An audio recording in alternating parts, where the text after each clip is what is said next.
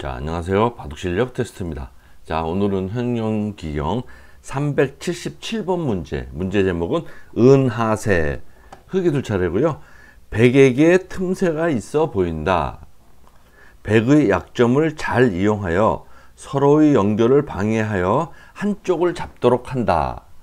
자, 요거는 음, 흙이 둘 차례고요. 요 백 모양의 약점을 이용해서 다 잡을 수는 없다. 그러니까 한쪽을 잡아야 되는데 이제 어느 쪽이 크냐 이거죠. 이제 보통 날일자는 건너붙여라 그래서 이렇게 둡니다. 그러면 뭐 이건 외결 수순이죠. 끊으면 끊을 때 백이 양단수라고 이걸 이으면 여기를 이어서 흙이 놓으면 백은 뻗어서 귀에 흙은 사는데 여기 중앙에 백도는 잡힙니다.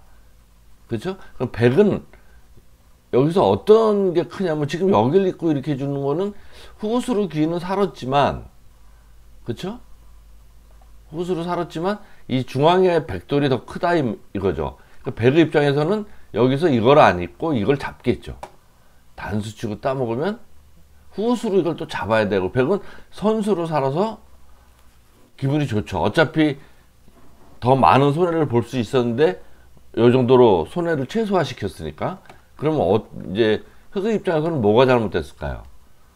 놀 때 백이 여기를 놔도 흑은 똑같이 여기를 듭니다.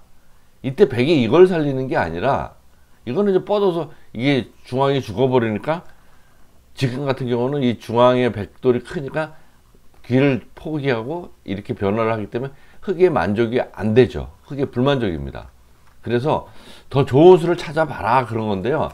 그냥 두는 수도 안 되죠. 이거는 뭐 다 살아버리니까. 귀에서 한 집, 중앙에서 한 집. 과연 어떤 수가 있을까요? 야, 정답부터 말씀드리면 여기를 붙이랍니다. 여기다 집어넣으라는데요. 이게는 무슨 뜻이냐면은, 음, 이쪽을 뻗을 수는 없다는 거죠. 이게, 이게 단수가 돼서 이게 죽으니까. 그럼 전체 백이 잡히기 때문에 백은 어, 다른 방법이 없습니다. 여기 놓는 것도 이게 나가서 연결이 안 돼요. 일로 단수 쳐서 이게 끊어지면 백이 전체가 잡힙니다. 절묘하게.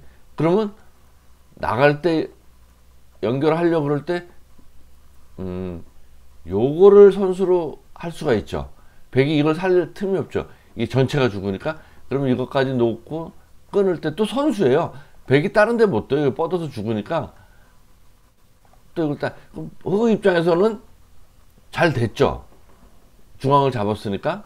그러니까 백은 또 다른 수가 없나. 이걸 잡아야겠죠. 이때 흙은 건너붙이고 백이 나오면 가만히 뻗어서.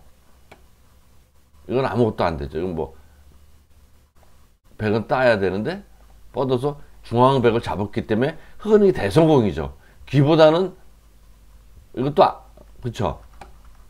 그래서 여기 붙이는 수가 몇 점이 됩니다. 이걸 자, 잡아야 잡는 수밖에 없을 때 이때 건너붙이면 뭐 방법이 없죠. 이걸 음, 따야 되는데 여기 뻗어서 이 중앙에 백을 잡는 흙의 최선의 수가 정답이 되겠습니다. 자, 오늘 377번 문제 해결을 했고요. 다음 시간에 378번 문제로 찾아뵙겠습니다. 끝까지 들어줘서 감사드립니다.